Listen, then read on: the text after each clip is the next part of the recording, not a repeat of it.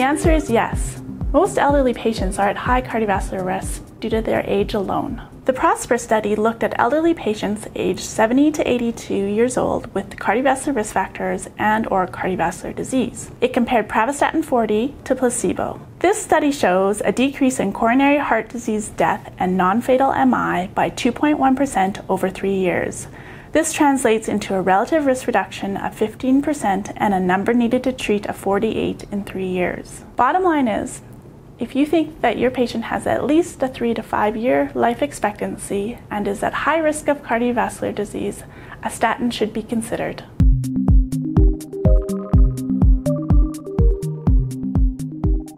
Not always. The first thing we need to do is rule out other causes, including trauma, exercise, or infection. A recent Canadian Cardiovascular Society consensus statement recommends that if the CK is elevated but is less than five times the upper limit of normal, a statin can be continued. The CK level should be repeated in 6 to 12 weeks, or if the patient develops symptoms. If a patient does have symptoms, hold the statin until other causes are ruled out. Once the CK is equal or less than the upper normal limit and the patient has no symptoms, the statin can be restarted if the case was mild, switched to another statin, or the dose lowered. The bottom line is that statin use may be continued with monitoring in some cases of elevated CK without patient symptoms.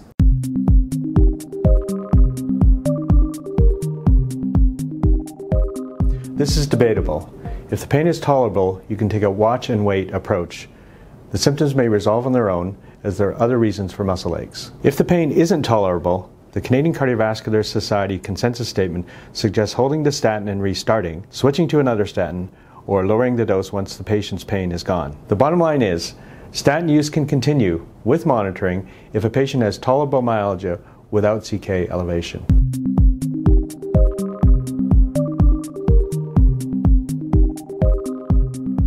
Most patients with true statin-related myopathy will tolerate another statin. Therefore, it is suggested to switch statins, start at a low dose, and titrate slowly. Remember, there is no evidence that non-statin lipid-lowering drugs improve cardiovascular outcomes. Only patients with diagnosed rhabdomyolysis should never take a statin again. The bottom line, if a patient experiences myopathy, change to another statin, start at a low dose, and titrate slowly.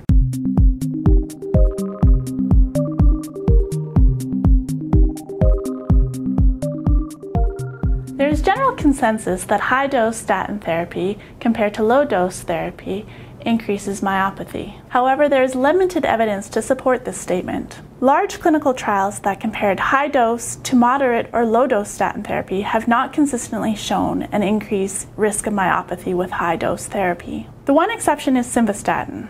Following the SEARCH study, simvastatin 80 is no longer recommended unless a patient has been taking it chronically with no muscle problems. The bottom line is that high dose statin therapy does not appear to increase the risk of myopathy when compared to low or moderate dose therapy.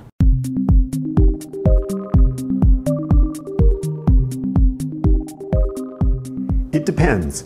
In appropriately selected patients, depending on their risk for cardiovascular disease and their values and preferences, statin therapy could be initiated and titrated to Canadian Cardiovascular Society targets. In most cases, this is either an LDL cholesterol of less than or equal to 2 or a 50% reduction in LDL cholesterol from baseline. A good approach is to start with the lowest available statin dose and titrate every 6 to 8 weeks until the LDL cholesterol target is reached. The starting dose of the statin gives the greatest relative reduction in LDL cholesterol, approximately 20 to 40%. The bottom line is that a patient may reach their LDL cholesterol targets with a high or low dose statin.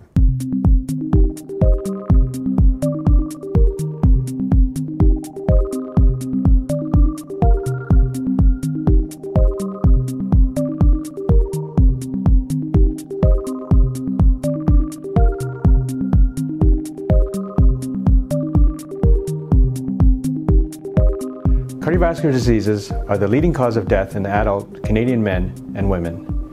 All people with known vascular disease should be treated with statins. As well, those at high risk benefit from preventive statin treatment. Not sure who's at risk? There are many easy to use cardiovascular risk calculators available on paper, smartphones, and even your EMR. The bottom line is statins save lives, and that's no myth.